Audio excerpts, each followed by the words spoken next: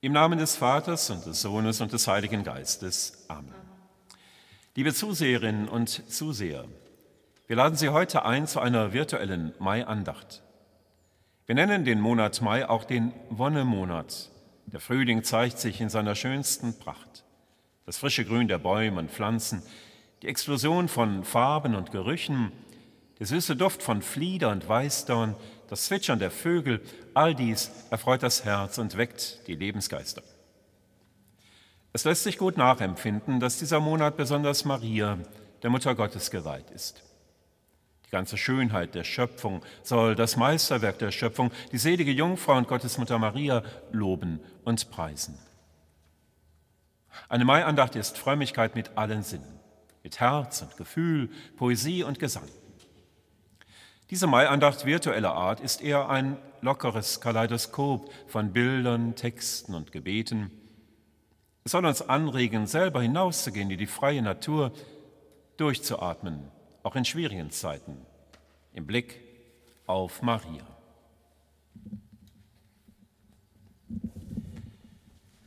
Heilige Maria, Mutter unseres Herrn Jesus Christus, du bist die Auserwählte Gottes. Dich hat der heilige Franziskus verehrt als die Königin des Himmels und der Erde. Durch deine Fürbitte schenkst du den Kranken und Betrübten Trost und Hilfe. Sei auch uns nahe in diesen besonderen Zeiten, damit wir alle Entbehrungen, Nöte und Widerwärtigkeiten in Geduld ertragen. Du schaust auf unsere Not, denn du bist auch unsere Mutter. Amen. Er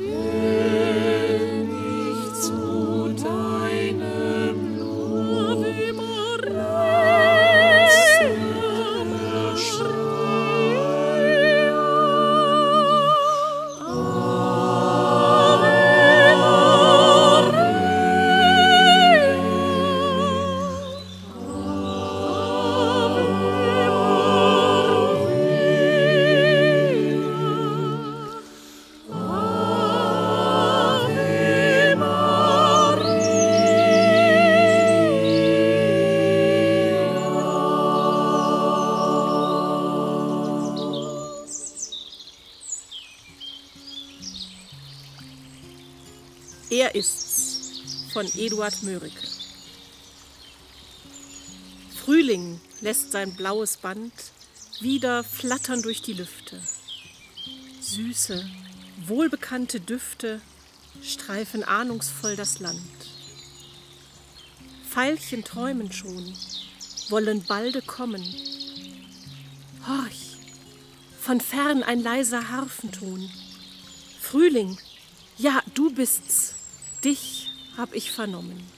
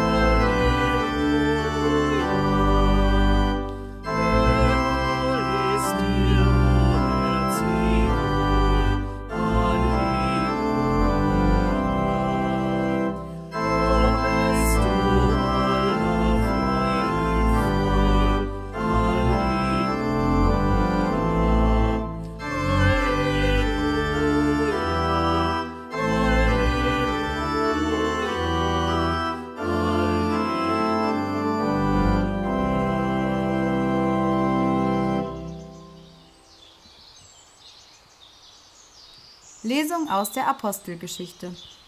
Im ersten Buch, lieber Theophilus, habe ich über alles berichtet, was Jesus von Anfang an getan und gelehrt hat, bis zu dem Tag, an dem er in den Himmel aufgenommen wurde.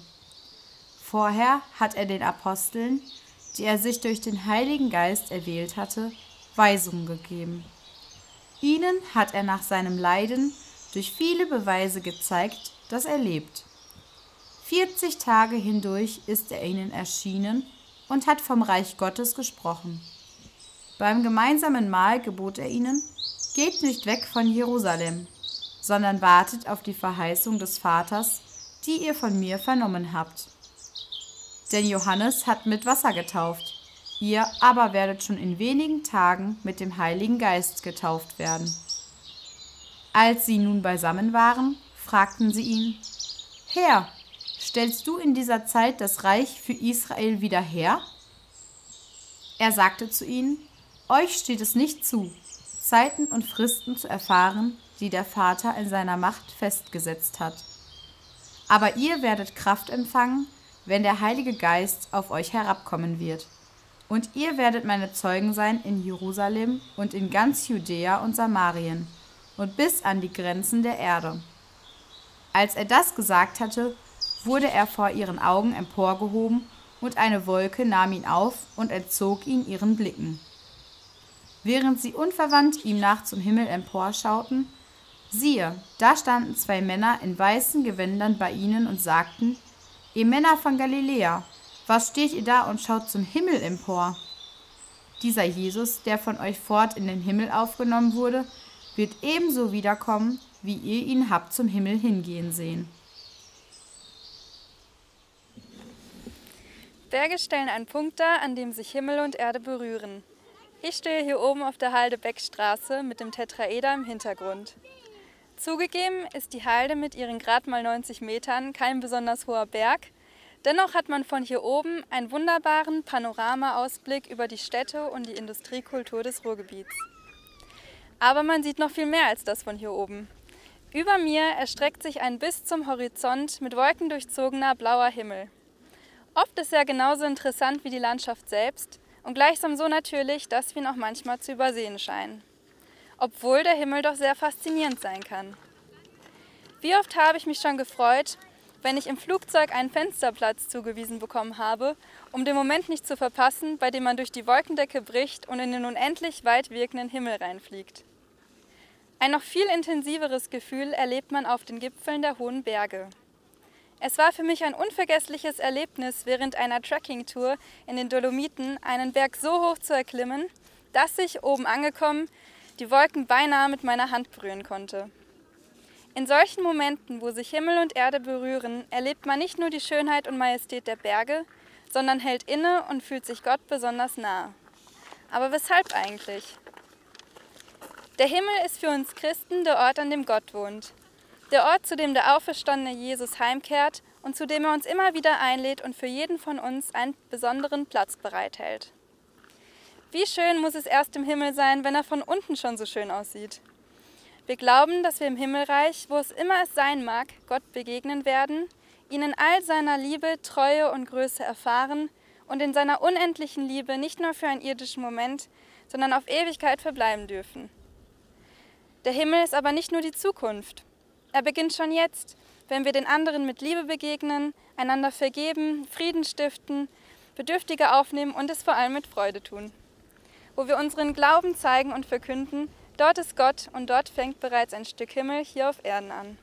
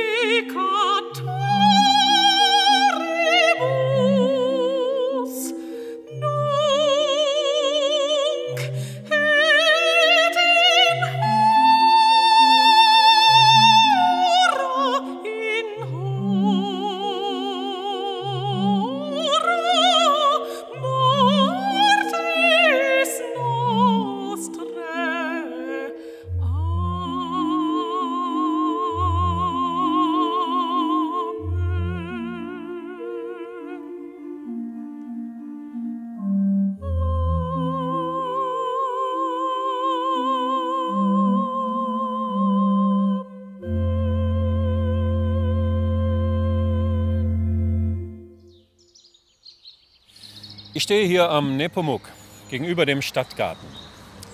Diese Statue ist eine Kopie. Das Original steht im Museum. Das Original stammt aus der alten Deutsch-Ordenskommende Wilhelm. Die Sandsteinfigur aus dem 18. Jahrhundert stand im Garten dieser Kommende. Die alten Bottropper sagen, diese Ecke war früher ein beliebter Treffpunkt. Für Schulklassen, aber auch für Verliebte, die dann gerne im Stadtgarten spazieren gingen. Der Mai ist ja auch ein besonderer Monat für Verliebte. Es ist nicht gut, dass der Mensch allein sei, so steht es in der Bibel und die Schrift hat recht. Nicht wenige Menschen spüren in diesen Tagen das Alleinsein besonders drückend. Andererseits, zu keiner Zeit gab es ein generelles Ausgehverbot. Und zu einem Menschen außerhalb der Hausgemeinschaft ist der Kontakt auch in der Öffentlichkeit immer erlaubt gewesen. Sich miteinander verabreden, sich treffen, mit Einhaltung des Abstandes, zusammen radeln, joggen, spazieren gehen, bietet immer noch Kontaktmöglichkeiten, wenigstens in der Urzelle der Zweisamkeit, ob als Paar, unter Freunden, in der Familie. Gehen wir raus in die Natur, erfreuen wir uns am Erblühen. Der heilige Nepomuk gilt als der Brückenheilige, weil er in die Moldau gestürzt wurde, als Märtyrer des Beichtgeheimnisses. Er steht besonders im süddeutschen Raum, oft da, wo es eine Brücke gibt. Wir spielen ein das bekannte Lied Über sieben Brücken musst du gehen. Der Text klingt erstaunlich aktuell. Manchmal scheint die Uhr des Lebens still zu stehen. Manchmal scheint man immer nur im Kreis zu gehen. Manchmal ist man wie von Fernweh krank. Aber das Lied ist letztendlich doch ein Mutmachlied. Alles wird gut. Auch diese Zeit der Prüfung wird überstanden werden. Sieben Jahre wird es hoffentlich nicht dauern.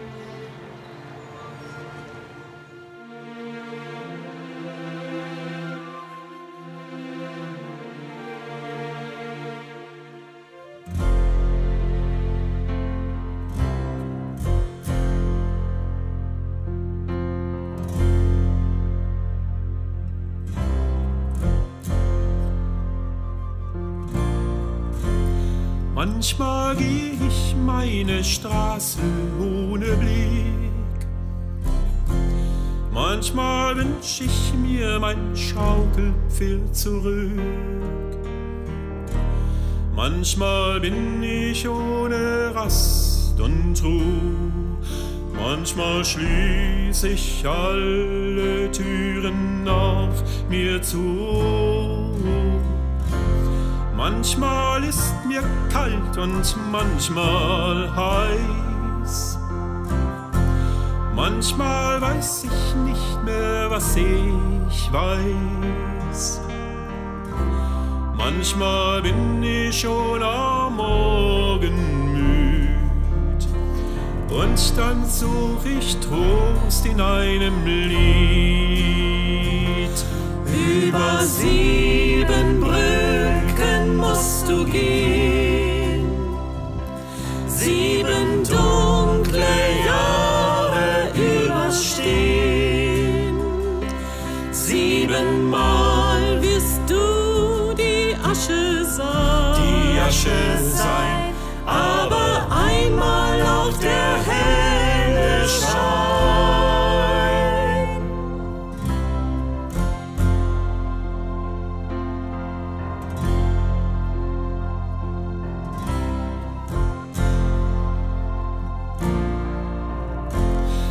Manchmal scheint die Uhr des Lebens still zu stehen. Manchmal scheint man immer nur im Kreis zu gehen. Manchmal ist man nie von Fernweh krank. Manchmal sitzt man still auf einer Bank. Manchmal greift man nach der ganzen Welt. Manchmal meint man, dass der Glücksstern fällt. Manchmal nimmt man, wo man lieber geht. Manchmal hasst man das, was man doch liebt. Über sieben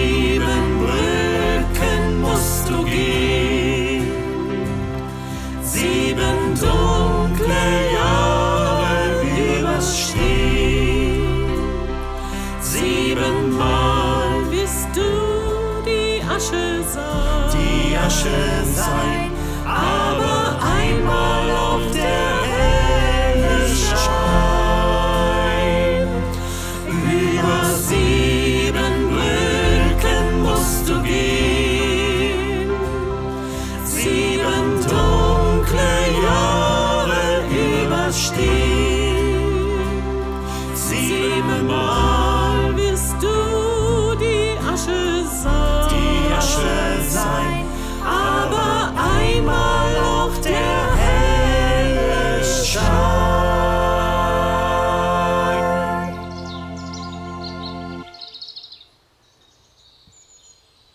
Wir sind durch die Umgebung unserer Heimatstadt gestreift und haben hier und dort Stationen gemacht. Nun stehen wir vor der Lourdesgrotte, ganz in der Nähe von der St. Johanneskirche in Bottrop-Bull. Diese Grotte ist vor einiger Zeit von tatkräftigen Händen versetzt worden. Sie ist uns buchstäblich etwas näher gerückt. Und sie ist von Anfang an angenommen worden als ein Ort des Verweilens und des Gebetes. Immer reich geschmückt mit Blumen, kein Tag, keine Nacht, an dem in der nicht eine Kerze brennt.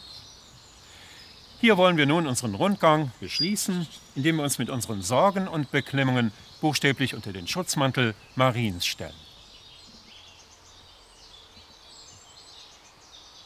Allmächtiger Gott, Herr und Schöpfer allen Lebens, in der Not der Bedrohung durch die Ausbreitung des Virus kommen wir zu dir. Wir bitten dich, erhöre unser Flehen, wende alles zum Guten, auf dass die Ausbreitung des Virus bald gestoppt und begrenzt werde. Erbarme dich über alle ernsthaft Erkrankten. Segne das Bemühen der Ärzte und aller, die im Gesundheitswesen einen Dienst leisten. Schenke den politisch Verantwortlichen Klugheit und Entscheidungskraft. Lass uns alle verantwortungsvoll mit der Situation umgehen. Verleihe uns Achtsamkeit und Mitgefühl, indem sich echte Nähe zeigt. Und bewahre uns vor aller Ansteckung durch das Böse. Das erbitten wir von dir, dem Herrn des Himmels und der Erde, auf die Fürsprache der seligen Jungfrau Maria, durch deinen geliebten Sohn, Christus, unseren Herrn. Amen. Unter deinen Schutz und Schirm fliehen wir, o heilige Gottesmutter. Verschmäh nicht unser Gebet in unseren Nöten, sondern erlöse uns jederzeit von allen Gefahren. O du glorreiche und gebenedeite Jungfrau, unsere Frau, unsere Mittlerin, unsere Fürsprecherin. Versöhne uns mit deinem Sohne, empfehle uns deinem Sohne, stelle uns vor deinem Sohne. Amen.